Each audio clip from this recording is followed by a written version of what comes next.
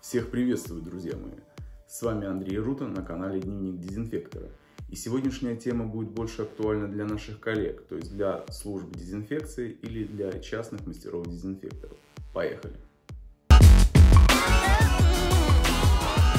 Одно из главных орудий мастера-дезинфектора, помимо его опыта и подбора средств, это, конечно же, оборудование. В зависимости от ситуации используется разное оборудование. Это и генераторы холодного тумана, генераторы горячего тумана, газовые мини-фоги, мотоопрыскиватели бензиновые, аккумуляторные опрыскиватели и в некоторых случаях эффективны даже обычные помповые опрыскиватели. И чтобы не краснеть перед клиентом, не потерять репутацию и деньги, важно своевременно обслуживать ваше оборудование для того, чтобы оно долгосрочно служило вам верой и правдой. Итак, простые манипуляции для профилактики выхода из строя оборудования для дезинфекции. Первое.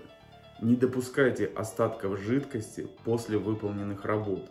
Иначе жидкость имеет свойство высыхать, таким образом засоряет форсунки, Бывает, что при транспортировке в мороз жидкость это замерзает и разрушает патрубки и другие трубки и некоторые другие элементы оборудования. Поэтому лучше не пренебрегайте этим правилом. Соблюдайте инструкцию по эксплуатации. Что именно?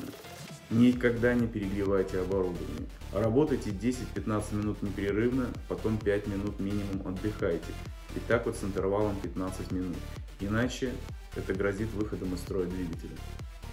В зависимости от нагрузки, один раз в неделю очищайте фильтр.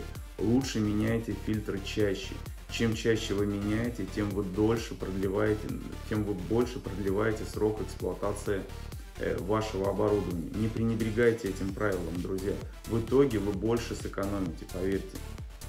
В бензиновом оборудовании используйте качественное топливо.